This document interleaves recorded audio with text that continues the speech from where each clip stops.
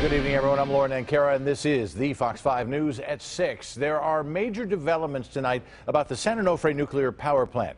Just a bit earlier this evening, a federal agency said the plant cannot restart two of its reactors until further notice. Fox 5's Jamie Chambers is live in San Onofre with what this means to those getting power from that plant. Hi, Jamie.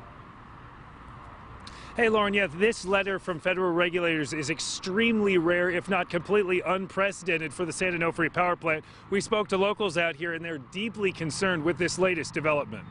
They have to speak up and, and, and give the reasons why the problem's not getting fixed and uh, let the public know about this. The San Onofre nuclear power plant has been shut down completely since January 9th when officials found tubes leaking inside reactor 3 from, quote, unusual wear.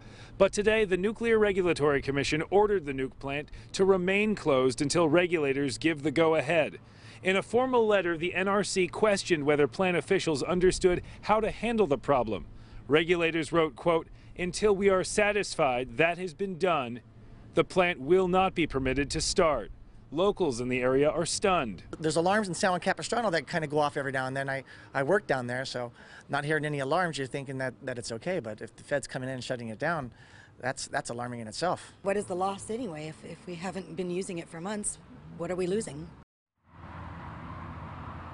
And we've been calling to speak with spokespeople here at Southern California Edison and the uh, San Onofre nuclear power plant. They haven't returned our calls, but we just got uh, a statement released. They are reporting that we welcome the NRC's letter, which is a formal step in the process of restarting units two and three.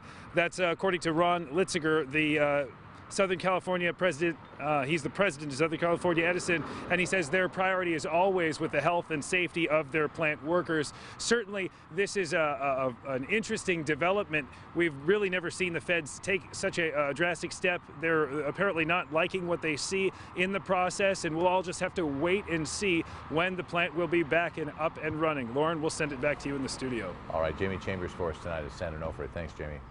And internationally,